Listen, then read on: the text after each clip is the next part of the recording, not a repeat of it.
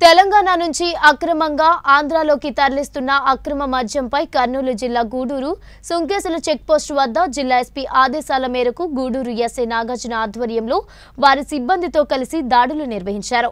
అనుమానంగా సంచరిస్తున్న వారిని గుర్తించి తనిఖీలు చేయగా వారి వద్ద నుంచి ఆరు వందల ఇరవై మద్యం బాటిళ్ళను స్వాధీనం చేసుకున్నట్లు ఎస్ఐ నాగార్జున తెలిపారు.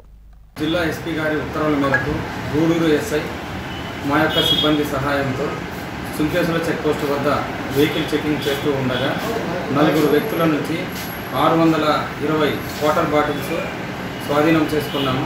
వారి వద్ద ఒక ఆటో ఒక బైక్ స్వాధీనం చేసుకొని రెండు కేసులు పెట్టి రిమాండ్కి పంపించడమైనది ఇది సుమారు డెబ్బై ఐదు వేల రూపాయల ప్రాపర్టీ అవుతుంది. వారి పేర్లు? వారి యొక్క పేర్లు ఒకరు భక్తరాజు వీరేశు మిన్నల్ల పరశురాముడు. వీళ్ళందరూ పూలకల్లు మరియు పూలకుర్తి గ్రామానికి చెందినవారు.